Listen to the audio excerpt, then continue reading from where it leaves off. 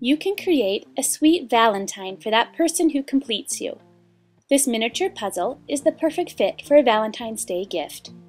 This tutorial was sponsored by allfreeholidaycrafts.com. I found a cute wooden puzzle at my local craft store. It's made by Sierra Pacific Crafts and retails for $2.99.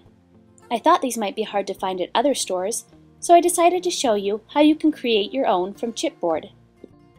Print off the perfect fit puzzle template. Cut on the outside lines. Lay the paper on top of your chipboard and trace over the puzzle pieces. Use a pen and press firmly to create indentations.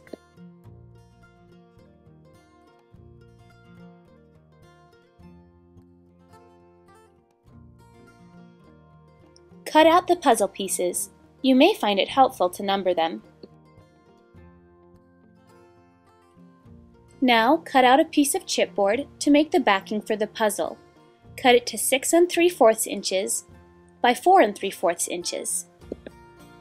Then we'll cut strips of chipboard to create the frame. Cut 4 pieces to a half inch wide. Cut 2 of them to 6 and 3 fourths inches and the other two to 3 and 3 fourths inches. Add these on top of the edges of your chipboard backing. Your puzzle pieces should fit inside the frame. Cut pattern paper strips a half inch wide to cover your frame. Adhere with double-sided adhesive.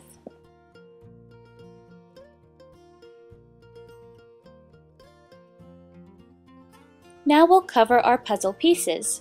Trace the pieces on scraps of pattern paper. Cut them out and adhere to each piece. You can use sandpaper to distress the edges of the paper.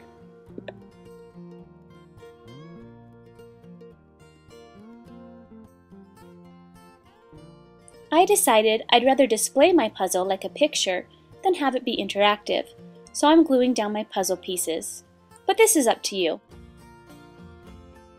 Decorate your puzzle with stickers, buttons, flowers, whatever you have in your stash.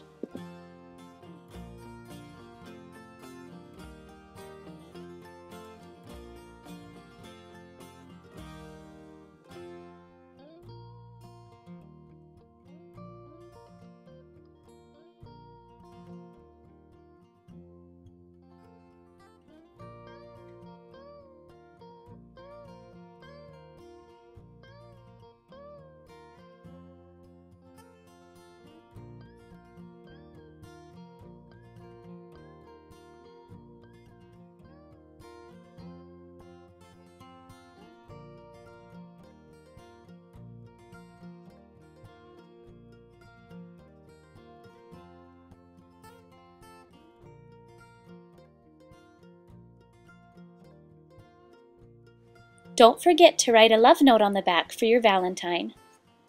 Whether you use a pre-made puzzle or create your own, this gift will be a great fit for your Valentine.